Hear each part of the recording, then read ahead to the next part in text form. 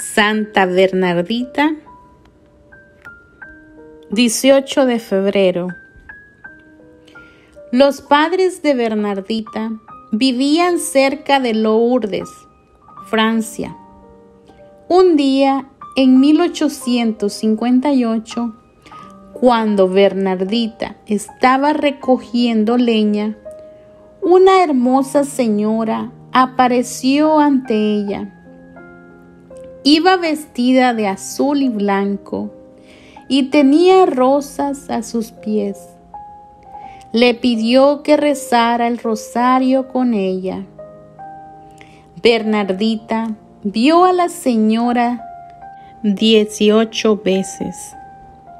Un día la señora dijo, no te prometo la felicidad en este mundo sino en el cielo.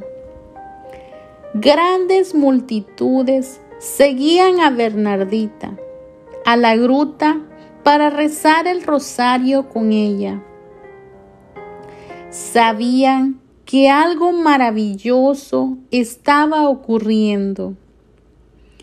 La señora pidió a Bernardita que raspara la tierra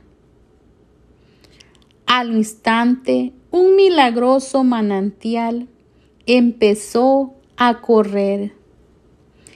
Miles de peregrinos enfermos que se han bañado en él han sido curados.